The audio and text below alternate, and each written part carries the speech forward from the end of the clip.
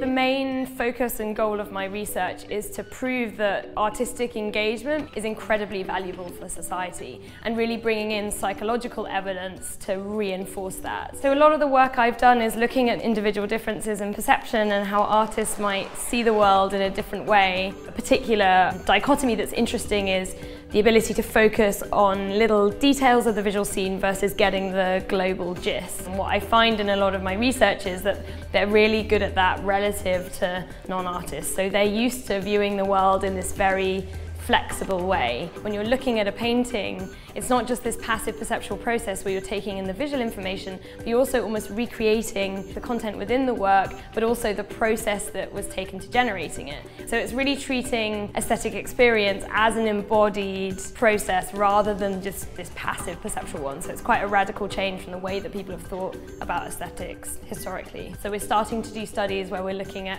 how drawing might help you to understand scientific concepts and looking at how these visual and spatial skills developed through art design training might be applied elsewhere.